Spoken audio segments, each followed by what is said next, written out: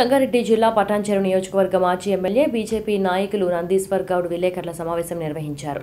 ఇందులో భాగంగా వారు మాట్లాడుతూ బీజేపీ ఏర్పడి డెబ్బై ఐదు సంవత్సరాలు అయిన సందర్భంగా ఇంటింటికి వెళ్ళి ప్రధాని నరేంద్ర మోడీ పాలన గురించి బీజేపీ గొప్పతనం గురించి ప్రజలకు వివరించాలన్నారు. టీఆర్ఎస్ ఎమ్మెల్యే కబ్జాలు చేస్తున్నారని అన్యాయాన్ని ఎదిరించిన వారిపై అక్రమ కేసులు పెడుతున్నారని మండిపడ్డారు. పటాన్చెరులో గంజాయి విచ్చలవిడిగా అమ్ముతున్నారని కానీ అబ్కారీ శాఖ పట్టించుకోకుండా మామూలు తీసుకుంటూ అక్రమాలకు వత్తాసు పలుకుతున్నారని ఆరోపించారు. ఈ కార్యక్రమంలో టౌన్ అధ్యక్షులు ప్రధాన కార్యదర్శి పలువురు బీజేపీ నాయకులు పాల్గొన్నారు. ఇలా పెట్రోల్ బంకులన్నీ మీరు ఇప్పుడు ఎంక్వైరీ చేస్తే అన్ని కంపెనీలలో అకౌంట్లు వేయాలి. అది పెద్ద అది ఒక పెద్ద దందా అది పెట్రోల్ పంప్ది అంతా తెలుసు ఇక్కడ అన్ని ఏమేమి జరుగుతున్నాయి అన్నీ తెలుసు. అన్ని కంపెనీలకి వెళ్ళి డాగేయాలి పెట్రోల్ పంప్ అకౌంట్లు వేసుకోవాలి వాళ్ళకి వెళ్ళి రా చేసుకోవాలి. ఈ విధంగా ఎన్ని అక్రమాలు జరుగుతున్నాయంటే ప్రతి దాంట్లో అవినీతి ఉందండి ఆయన దగ్గర. అరే చెరువు మధ్యలో ఎవడన్నా పెద్ద చెరువు అని అమీన్పూర్లో దాంట్లో మధ్యలోకి వెళ్ళి రోడ్ వేస్తే ఊకుంటే ఎట్లా అండి చెరువులోకి వెళ్ళి అదేవిధంగా పటన్ చెరువులో పటన్ చెరువు చెరువు మూసేసి లారీలకు పార్కింగ్ చేసిండండి అది. అరే ఎంత న్యాయ ఎంత అన్యాయం అది రేపు.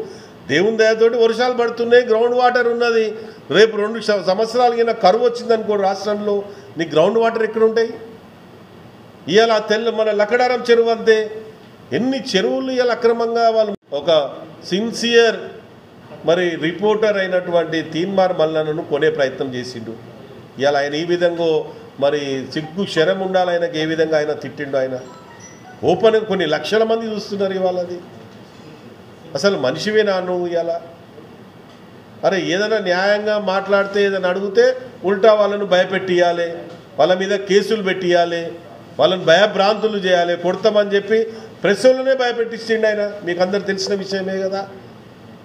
ఆ రోజు సంతోష్ అన్న ఒక ప్రెస్ రిపోర్టర్ని నీ అమ్మ నువ్వు పిల్లాన్ని తిట్టిండు ఆయన. ఇష్టం వచ్చినట్టు తిట్టిండు. ఈ విధంగా పూర్తిగా దిగజారిపోయినటువంటి రాజకీయాలు చేస్తున్నారండి ఈ టీఆర్ఎస్ ప్రభుత్వం నాయకులు.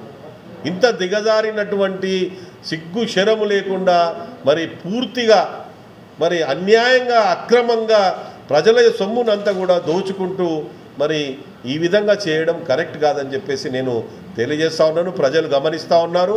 నేను ఒకటే అప్పీల్ చేస్తూ ఉన్నాను. దోచుకున్న సొమ్మును ఎంతైతే దోచుకున్నాడో రేపు ఎలక్షన్లో కూడా ఈ పాపాల రెడ్డి లక్షల రూపాయలు కోట్ల రూపాయలు ఖర్చు పెట్టి మళ్ళీ గెలవాలని ప్రయత్నం చేస్తూ ఉన్నాడు. సుమారు ఆయననే చెప్తా ఉన్నాడు ఆయన క్యాడర్ తోటి అందరితోటి కూడా. రెండు వందల కోట్లు ఖర్చు పెడతాడంట ఎలక్షన్లో. ఎవరు సొమ్ములండి అవి రెండు వందల కోట్లు మేము ఎమ్మెల్యే అయినప్పుడు రాజశేఖర్ రెడ్డి గారు మొత్తం రాష్ట్రానికి ఖర్చు పెట్టిండు ఆయన. రెండు వందల తొంభై నాలుగు సీట్లకు. రెండు వేల తొమ్మిదిలో. ఒక్కొక్క నియోజకవర్గానికి ఒక కోటి చొప్పున ఖర్చు పెట్టొచ్చు నేను అనుకుంటా అప్పుడు. ఇవాళ రెండు వందల కోట్లు ఈయన ఒకటే కాన్స్టిట్యున్సీ ఖర్చు పెడతా అంటున్నాడు ఈ ఎమ్మెల్యే. అంటే ఎంత దోచుకున్నాడు ఆయన? ఇవాళ ప్రజల సొమ్మును